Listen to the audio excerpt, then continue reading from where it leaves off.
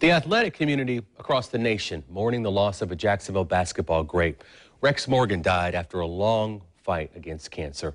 Morgan is remembered for helping the JU Dolphins reach the NCAA National Championship game back in 1970, and his coaching contributions are legendary at the Arlington Day School, where he won numerous awards. We spoke with his teammates and close friend, Artis Gilmore. Against defending national champs UCLA. And the tip is over to Jacksonville. Morgan breaks and hits the opening basket. On the court and as a young man, Rex Morgan was a two-year starter for the JU Dolphins, who's remembered for leading his team to the NCAA tournament to face off against the UCLA Bruins. It was the guards who kept the Dolphins in the game. Even though JU lost that game, it was a monumental moment in the university's history. The school retired his jersey, forever recognizing Morgan on the Wall of Fame.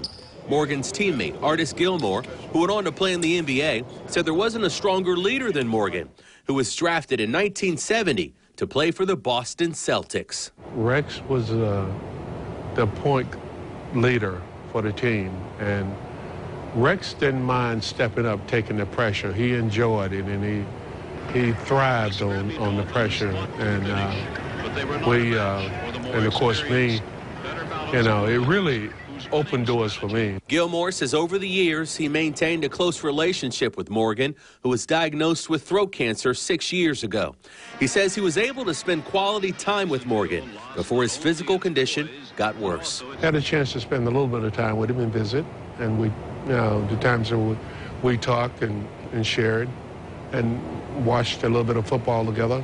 So, uh, excuse me, I had some great visits with my dear friend.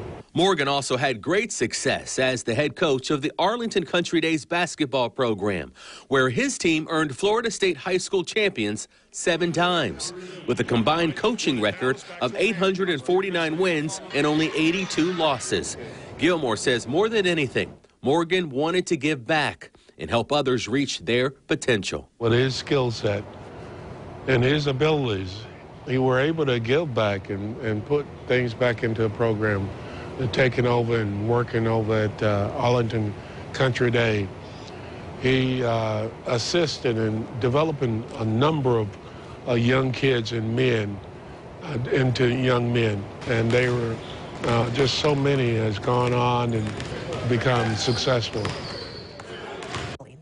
JU officials say former players at their school at the Arlington Country Day School and current NBA players are all reaching out to Morgan's family now to pay their respects to a man who was an example of what leadership looks like.